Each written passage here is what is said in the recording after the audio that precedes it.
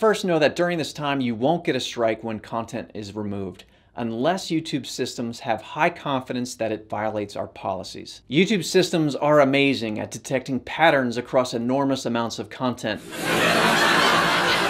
Wegen den Ausgangseinschränkungen wird dieses Video ausnahmsweise nicht vor Live-Publikum aufgeführt, was bedeutet, dass diese Lacher fake waren. YouTube richtet ein Strike-System. Ich werde heute drei Videos aufzählen, bei denen es einfach nur unfassbar ist, dass diese von YouTube gelöscht wurden. Es handelt sich dabei nicht nur um Videos von mir, ihr werdet es nicht glauben, um was für Videos es sich dabei handelt.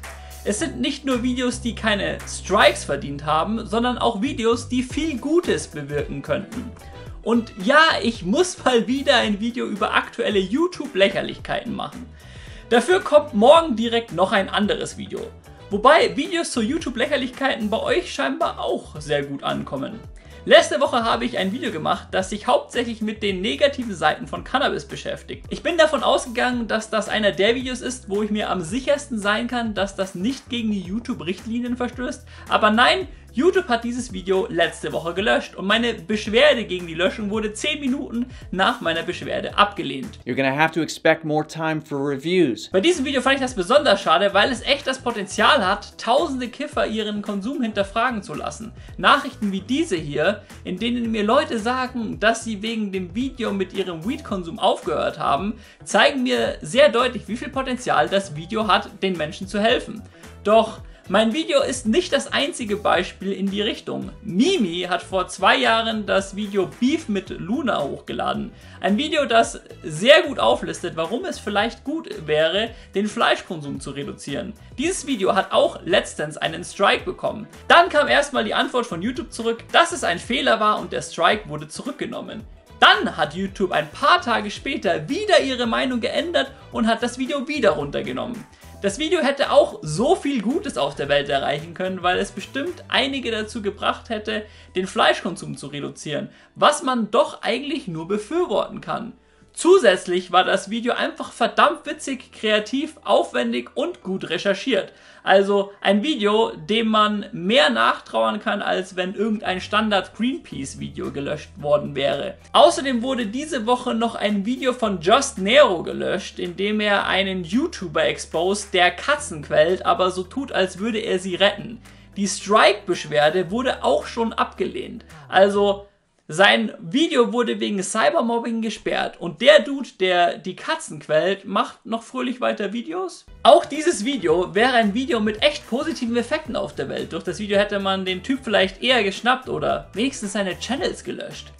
Das Video war auch wirklich verdammt gut recherchiert und hatte eine echt schreckliche Sache aufgedeckt. Just Nero hat mir übrigens berichtet, dass er das Video vor der Löschung zur Monetarisierung eingereicht hat. Dort wurde es angeblich von einem menschlichen Reviewer als werbefreundlich eingestuft. Also erst werbefreundlich und dann verstößt es plötzlich gegen die Richtlinien. What the fuck? Die YouTuber Iblali, Revi, Unge und Montana Black haben übrigens auf mindestens eins dieser Videos reagiert und komplett gezeigt und haben keinerlei Löschungen erfahren. Was natürlich auch gut so ist, aber es zeigt einfach nur, wie broken das System ist. Denn wenn ein Video gegen die Richtlinien ist, dann muss es doch auch gegen die Richtlinien sein, wenn man es komplett zeigt. Mir kommt es so vor, als wäre das größte Problem an der Sache, dass YouTube hier vorgibt, dass diese Entscheidungen alle von Menschen getroffen werden. Ich werde aber das Gefühl nicht los, dass das fast ausschließlich AI sind. Welcher Mensch sieht ein Video gegen einen Tierquäler-YouTuber und sagt, oh, das muss von YouTube gelöscht werden. Es sind entweder AIs oder Menschen, die kein richtiges Deutsch können oder von YouTube völlig komische Anweisungen bekommen. Das Video von Just Nero und mir ist übrigens wieder online, aber nur weil wir YouTube auf sämtlichen Kanälen penetriert haben. Lustigerweise habe ich nach der Wiederherstellung von einem YouTube-Kontakt die Nachricht bekommen, dass sie sich dazu entschieden haben, es nicht wiederherzustellen, was auch wieder zeigt, wie verplant das Ganze ist. Eigentlich habe ich hier noch einen Part eingebaut, wo ich meinen Patreon, Twitch und Discord und Telegram-Channel pushe, aber das ganze Problem soll nicht auf meine Person reduziert werden. Das YouTube-Strike-System ist völlig unfair, verrückt, unnachvollziehbar und irgendwie auch schädlich. Das betrifft viele YouTuber, nicht nur mich. Mimi und Josnero sind beides YouTuber, mit denen ich privat auch Kontakt habe. Wenn zwei Leute, die ich persönlich kenne, schon dieses Problem haben, mag ich mir nicht ausmalen, wie groß dieses Problem eigentlich wirklich ist. Wie viele YouTuber haben nur ein paar hundert Abonnenten, deren Fälle völlig unter dem Radar landen? Wie viele Videos, die eigentlich viel Gutes in der Welt erreichen können, werden von YouTube gelöscht? Bitte richtet das YouTube. Lockert eure Regeln. Benutzt weniger Bots.